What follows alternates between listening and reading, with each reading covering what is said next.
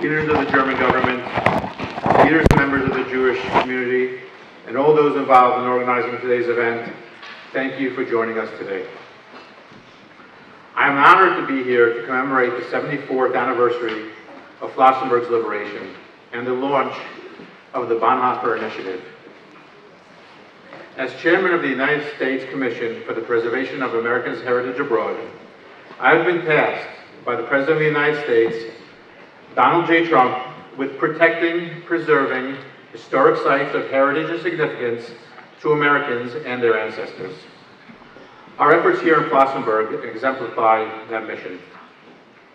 This concentration camp saw 100,000 prisoners pass through its gates of hell, 30,000 destined to their death.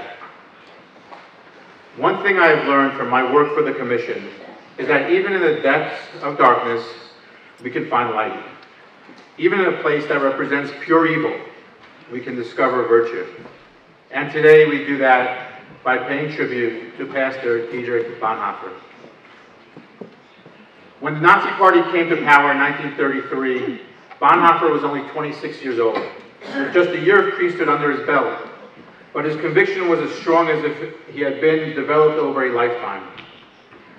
Two days after Hitler became chancellor, Bonhoeffer delivered a radio address warning Germany against falling for the cult of the Fuhrer.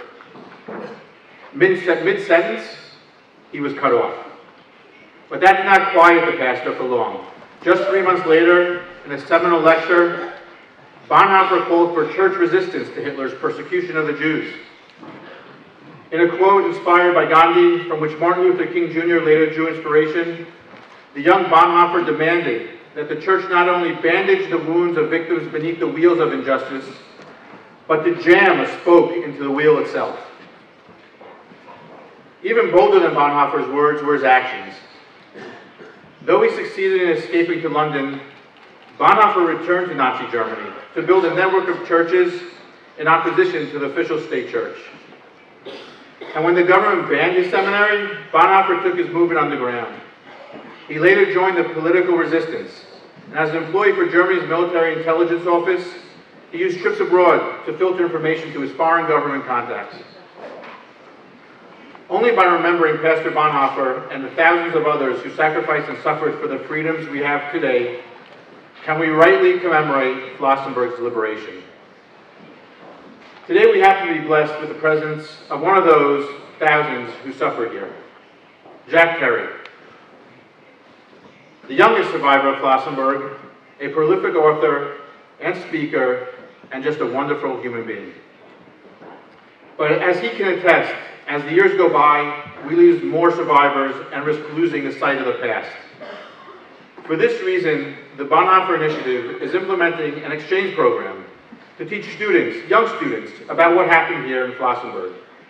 And the United States Commission for the Preservation of America's Heritage Abroad has worked with the initiative to build a website and an app which is being launched here today, dedicated to honoring the pastor's memory and making sure the whole world will know what happened here in Flossenburg.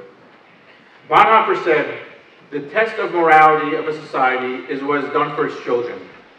By teaching our children about the darkness of Flossenburg, and the atrocities of Nazi Germany, the light that Pastor Bonhoeffer brought, we hope will ensure the promise of never again for future generations.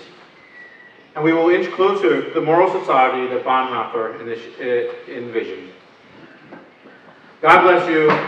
God bless the souls of those who perished and were murdered in Flossenburg. And may God bless the United States of America. Thank you.